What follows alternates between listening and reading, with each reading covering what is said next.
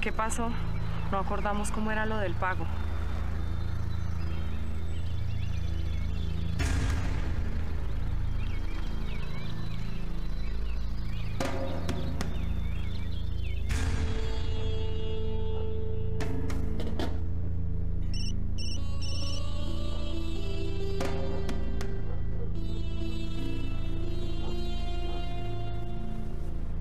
Listo.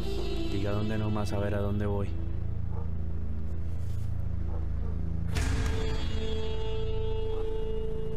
Listo. En la carrera 13 con 57.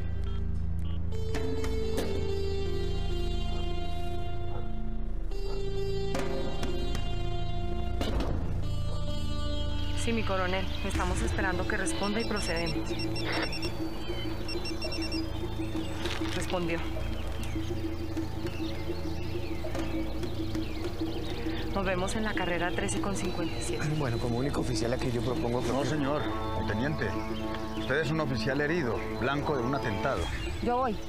Usted tampoco. Usted es una policía que acaba de dar de baja a un sicario y está en investigación de oficio. ¿Qué pasa? ¿No confían en mí o qué? Bueno, voy a pedir ayuda entonces. No, señora. No nos vamos a tirar la captura ahí por una filtración de un sapo. Ah. A ver, entreguen celulares, radios. No, a mí no me va a dejar incomunicada. Perdón, mi sargento, pero no. Bueno, silencio entonces. Proceda, cuidado, sáquese. Vamos. Yo voy a la pared. Venga, Pérez, llévese eso. Bueno, vamos. Venga, que yo quiero que le miren esa herida. Un momentico. Tranquilo. No.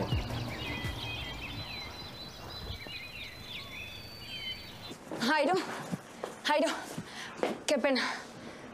Me enteré de lo de Raúl, ¿de verdad está bien? Sí, él está bien. No sabemos nada del sicario, pero gracias a Dios está bien. Venga, hágame un favor, sígame a este personaje de acá. Está dando vueltas por la misma cuadra y está muy sospechoso. Hágame. ¿Cómo ordena, mi teniente? Sí, no, yo también estaba preocupadísimo, pero está bien, gracias a Dios. ¿Usted cómo está? ¿Bien? Bien. De verdad, qué bueno que hayamos decidido no esperar más. Oiga, con toda la preocupación de Raúl y todo, se me me olvidó preguntarle cómo le fue con Iván. Si supiera. Mi mamá y yo apostamos que lo iba a matar. Pues no me mató, pero sí me hizo su debido interrogatorio. Me preguntó si teníamos algo.